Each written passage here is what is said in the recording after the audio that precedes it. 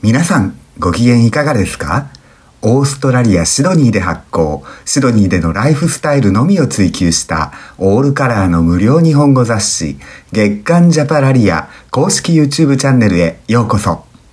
今回の投稿はシドニーの観光スポットなどを皆さんにご紹介するシドニー探訪のシリーズ第7弾で前回はザ・ドメインのニューサウスウェールズ州立美術館本館を取り上げました。今回は今ご覧の月刊ジャパラリア2023年9月号ではなく、その次の10月号に掲載予定の博物館ですが、2023年8月26日から特別展が開催されることもあり、紙面に先駆けて、まずは動画でご紹介。ちなみにこのシリーズで紹介した全ての動画は、ジャパラリア公式 YouTube チャンネルのプレイリスト、シドニー探訪からご視聴いただけ、この投稿の概要欄にもそのリンクを貼っておきますので、興味のある方はそちらをご覧ください。シドニー探訪パワーハウス博物館。シドニーのチャイナタウン西側に隣接するサバーブでセントラル駅からも徒歩距離のアルティモ。メインストリートであるハリスストリート沿いに立つパワーハウス博物館。パワーハウスとは発電所という意味でその名の通りかつて発電所だった建物を改装した4階建ての博物館です。元発電所らしく科学技術に関連した展示作品が多い一方南半球最大の衣装コレクションを誇ることでも知られます。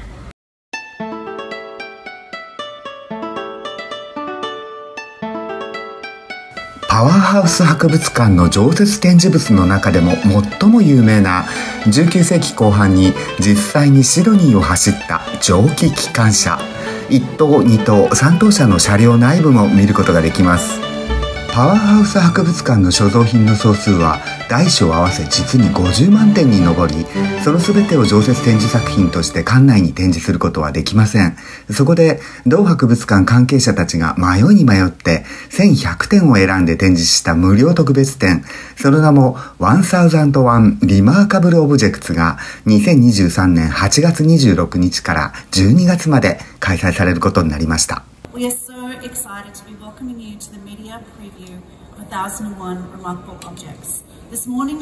一般公開に先駆けて8月24日メディアプレビューが開催されました。ここからの動画ではいずれも同店の展示風景をご覧いただきます。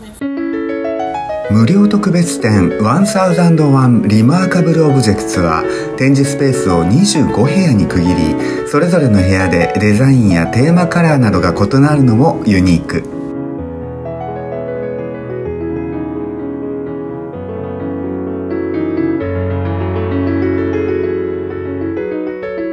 18世紀ヨーロッパ王侯貴族の男女の衣装の右隣にはリリアン・ウエストウッドの90年代ファッション。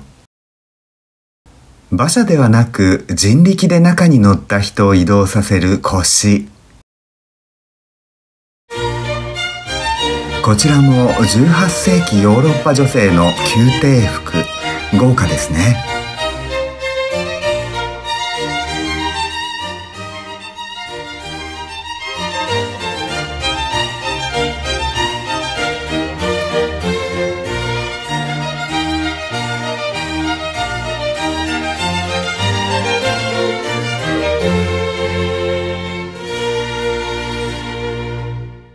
江戸時代中期の日本の武将の鎧兜。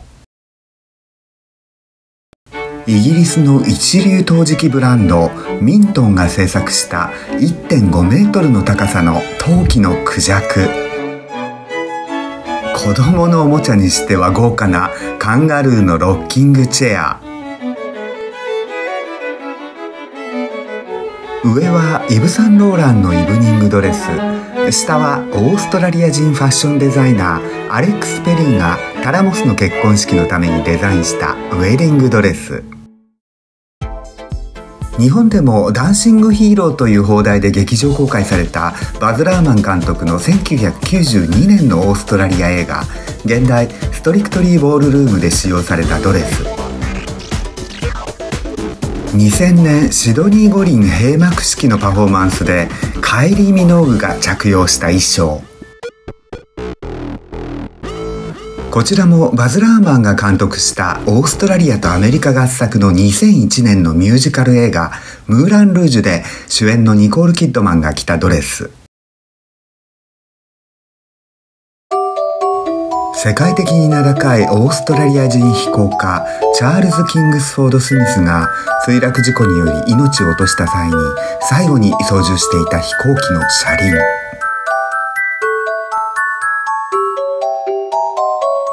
ドールハウスファン必見の大型のドールハウス。